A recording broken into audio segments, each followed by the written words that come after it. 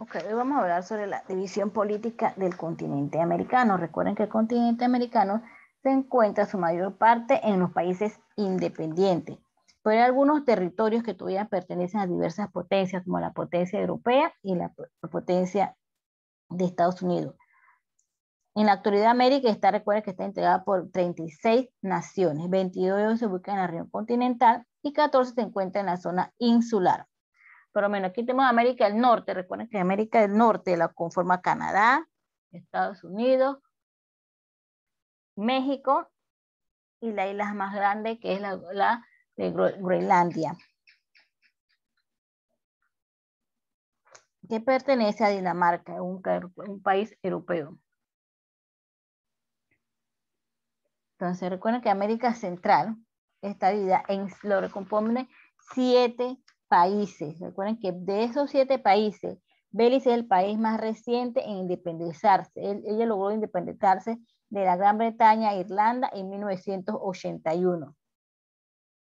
Esos países son Belice, Guatemala, El Salvador, Honduras, Nicaragua, Costa Rica, Panamá. Después viene América Central Insular. América Central Insular 14 países independientes. Casi, casi todo país ocupa un una isla o un gran grupo de islas. En la sección que es la española y las Antillas Mayores, cuyos territorios son compartidos por República Dominicana y Haití. ¿Cuáles son los países que lo forman? Bahamas, Cuba, Jamaica, Haití, República Dominicana. Recuerden que ellos comparten la isla Puerto Rico, San Cristóbal, San Vicente, República Santa Lucía, Granada, Antigua y Barbados. esos son los países que conforman América Central Insular. Y los países que conforman América del Sur